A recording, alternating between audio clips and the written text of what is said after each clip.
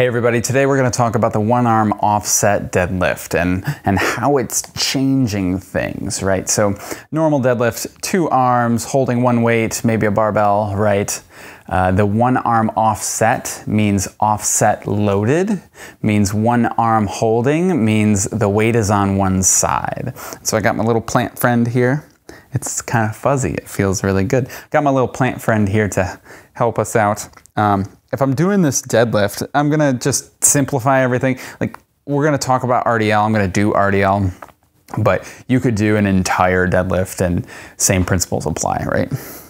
So if I do this and I have something that's pretty heavy over here, it wants to pull me over to this side because that's the way that I can just kind of deal with the weight, right? It's pulling me over to the right.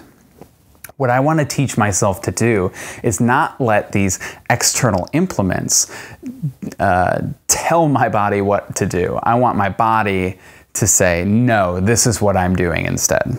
And so I want your positions to look exactly the same as a you know normal deadlift but you're going to feel stuff a lot differently so if the weight's on my right side i'm going to feel my right leg a lot more um, it's going to try to pull me into this side. I'm going to try to push myself away from that side. And now I feel this glute turn on a lot. And I just got to try to maintain that as I go through. If you have some sort of imbalance, maybe you're shifting to one side or the other, you could use this as an effective tool to be your, uh, your accessory work, right?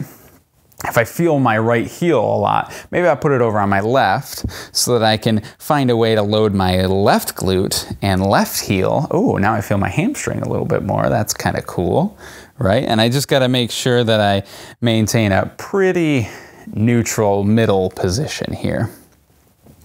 Likewise, if I feel like maybe still same shifted to the right, I need a little glute to keep me off the right, then I can move the weight to the other side and try it out that way. You're gonna get a lot of good things from doing it from either side. Oftentimes, if I give someone something like this, I'm gonna let them do it on both sides, not bias them on one or the other. Hope that helps. That's the one arm offset deadlift.